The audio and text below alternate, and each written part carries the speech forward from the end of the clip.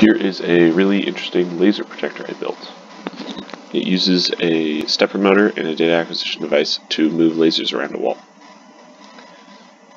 As you can see, the two mirrors are oscillating very, very quickly in time uh, with each other to shine the laser in a rectangle shape on the wall. Here you can see the laser moving about the x and y axis per the two mirrors. I'm controlling it with keyboard controls through a Python program I wrote. The Python program sends locations to a Lua script that is running locally on the LabJack data acquisition device. That in turn moves the stepper motors to the desired location.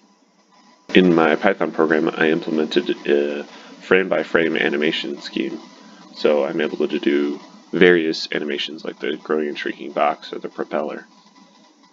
This is a long exposure of a single box drawn. It looks a little closer to this um, when you're looking at it with the human eye, but uh, it's about halfway between the video, which has a rolling shutter effect, and the long exposures. We have it drawing out numbers 0 through 9. Unfortunately, the rolling shutter is pretty bad on this shot for some reason.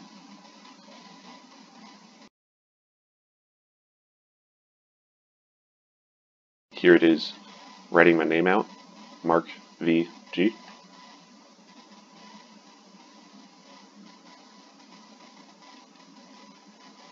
Here we have it showing some other symbols and letters.